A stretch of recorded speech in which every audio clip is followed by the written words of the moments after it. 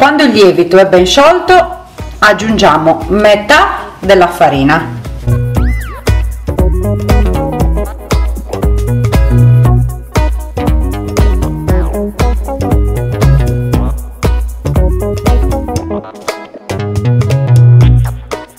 Facciamo assorbire bene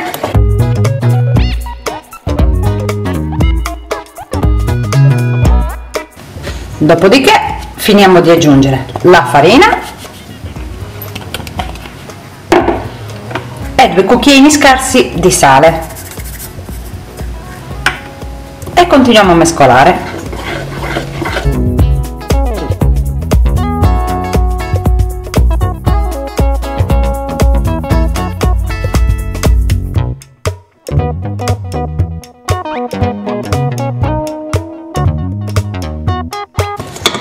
bene. Allora ora coprirò con pellicola e farò riposare due ore a temperatura ambiente. Dopodiché trasferirò il tutto in frigorifero dove riposerà per circa 24 ore. A domani